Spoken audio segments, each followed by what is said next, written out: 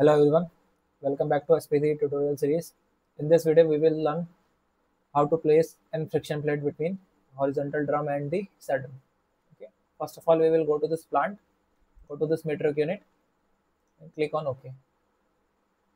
This window will appear. In this, go to File, go to Define Workspace, go to Filter, go to More, and select the filter which we have created in previous video click on ok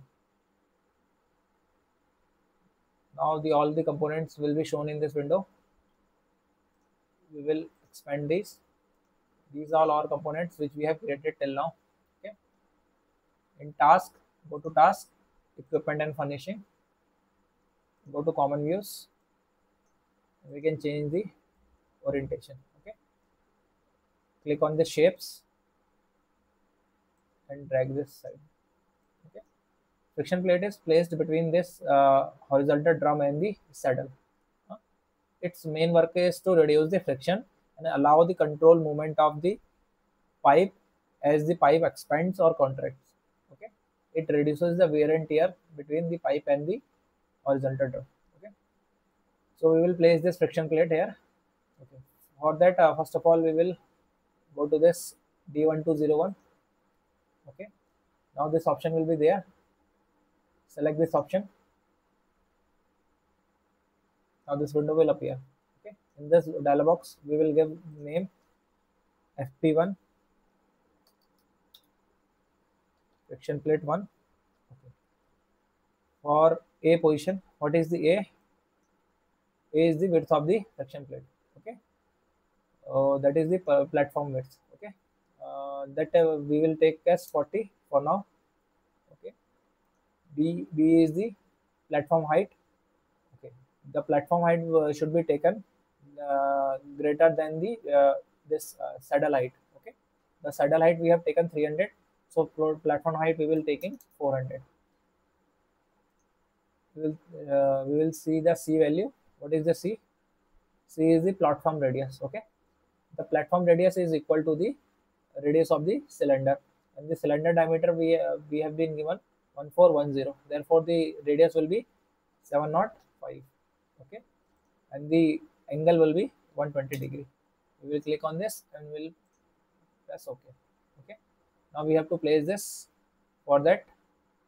We can go to this pinpoint option and we can place uh, by clicking this arrow also. But we were placing with the help of this 0 enter north position also we will put 0 enter. And elevation also we will put 0 enter. Okay? We will click anywhere on the screen. Now this is not this axis is not aligned with this. So we will click on the arrow button of the keyboard and we will align this okay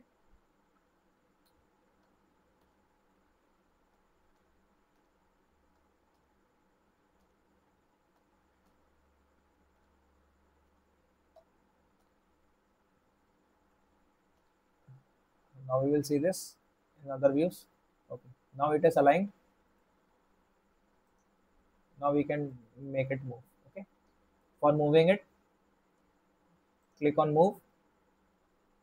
For that first of all we have to lock the position. When this north arrow will come click on the center button of the mouse or scroll button of the mouse. Now this position is locked. Now we have to put the position here. Okay. From here to here distance is 965 and the plate width is 400 so we have to add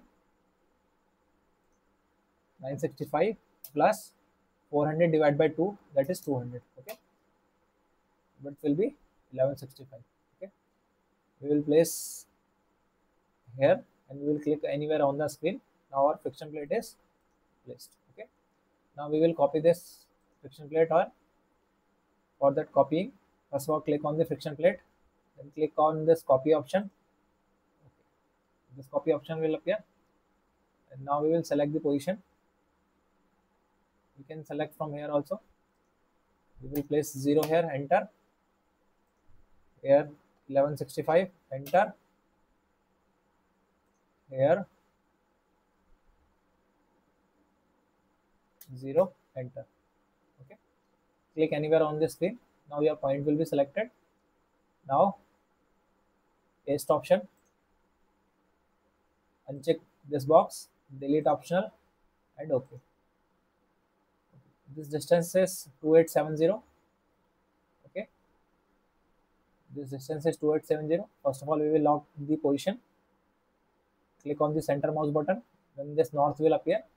After that click on this 965 plus 2870 plus 200 we will enter.